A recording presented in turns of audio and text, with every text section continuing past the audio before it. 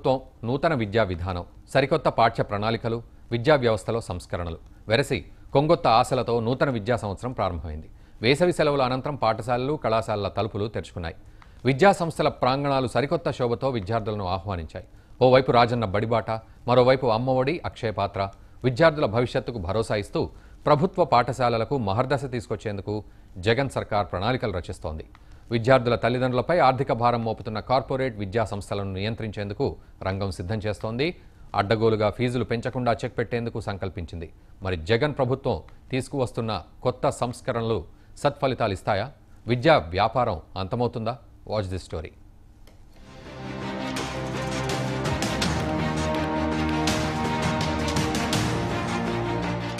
సెలవులకు సెలవులు వచ్చేశాయి.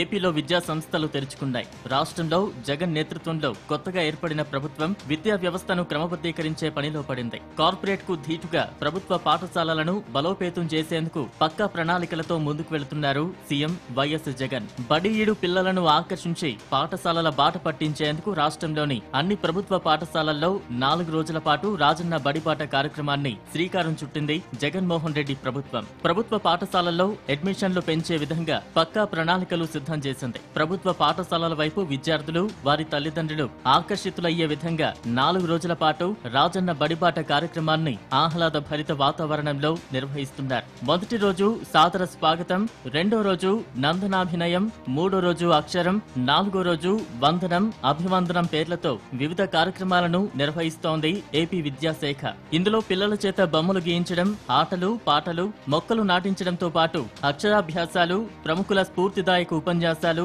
బాలికల విద్యాభివృద్ధికి సలహాలు సూచనలు తల్లిదండ్రుల సమావేశం సహపంక్తి భోజనాలు నిర్వహిస్తోంది. మరోవైపు నూతన ప్రభుత్వ విద్యా విధానంలో మరో చెప్పుకోదగిన పథకం అమ్మ ఒడి. ఈ పథకం ద్వారా ప్రభుత్వ ప్రైవేటు పాఠశాలల్లో చదివే విద్యార్థులందరికీ ఆర్థిక ప్రయోజనం కల్పించేందుకు జగన్ సర్కార్ నిర్ణయించింది. పిల్లలను బడికి పంపినందుకు గాను తల్లిదండ్రులకు ఏడాదికి పదిహేను వేల రూపాయల చొప్పున ప్రభుత్వ ప్రోత్సాహకంగా ఇస్తామని సీఎం జగన్ పాదయాత్ర సందర్భంగా ప్రకటించారు. ఈ పథకం వల్ల పాఠశాలల్లో విద్యార్థుల సంఖ్య పెరుగుతుందని విద్యావేత్తల భావన. అయితే ఈ పథకంపై కొంతమంది అభ్యంతరాలు వ్యక్తం చేస్తున్నారు. కేవలం ప్రభుత్వ విద్యా సంస్థలకు పంపే వారికే ఈ పథకాన్ని అమలు చేయాలని దీంతో ప్రభుత్వ విద్యాలయాలు అభివృద్ధి బాట పడతాయని వారి ఆలోచన.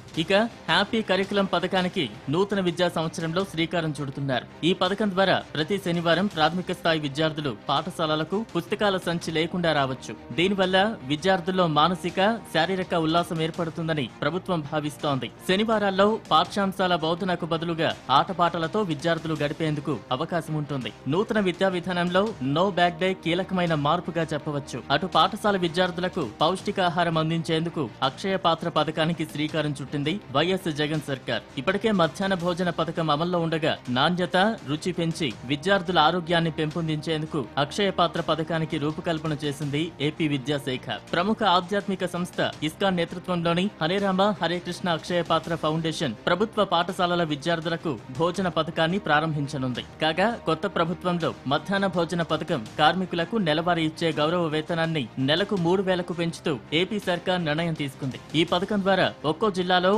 ఆరు వేల రెండు వందల ఎనభై నాలుగు మంది కుక్కం హెల్పర్లు లబ్ధి పొందనున్నారు. ఇదిలా ఉండగా అడ్డగోలుగా ఫీజులు వసూళ్ళు చేస్తున్న ప్రైవేటు పాఠశాలలకు ముక్కుతాడు వేసేందుకు జగన్ ప్రభుత్వం చర్యలు తీసుకునేందుకు సిద్ధమవుతోంది. ఈ క్రమంలో ఫీజుల రెగ్యులేటరీ కమిషన్ను ఏర్పాటు చేసే దిశగా అడుగులు వేస్తోంది. ఈ కమిషన్ సిఫార్సుల మేరకు నిర్ణయాలు ఉంటాయి. ఫీజులు నియంత్రించడంతో పాటు అకాడమిక్ క్యాలెండర్ను పూర్తి స్థాయిలో ప్రైవేటు పాఠశాలలు కూడా పాటించేలా షరతులు విధించనున్నారు. ఆదివారాలు ప్రభుత్వ సెలవు దినాల్లో ప్రైవేట్ పాఠశాలలు తరగతులు నిర్వహిస్తే కఠిన చర్యలు తీసుకునేలా నిబంధనలను మరింత కఠినతరం చేయడానికి జగన్ ప్రభుత్వం సిద్ధమవుతోంది. మరోవైపు రాష్ట్రంలో నలభై వేలకు పైగా ఉన్న ప్రభుత్వ పాఠశాలల స్థితిగతులను పరిశీలించి ప్రాధాన్యత క్రమంలో దశల వారీగా మౌలిక వసతులు కల్పించడం సంపూర్ణంగా పాఠశాలలను ఆధునీకరణ చేయాలని ఇటీవల ఏపీ మంత్రి మండలి నిర్ణయించింది. అటు ప్రతి ప్రైవేట్ స్కూళ్ళలో ఇరవై ఐదు శాతం ఫ్రీ సీట్లు పేద మధ్యతరగతి వారికి తప్పనిసరిగా కేటాయించేలా గట్టి చర్యలు చేపట్టాలని అధికారులకు సీఎం జగన్ ఆదేశించారు.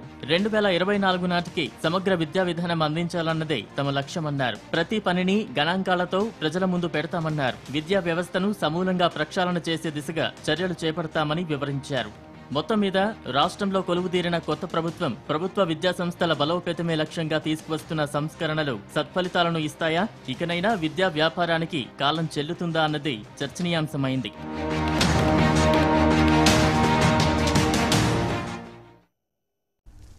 వైఎస్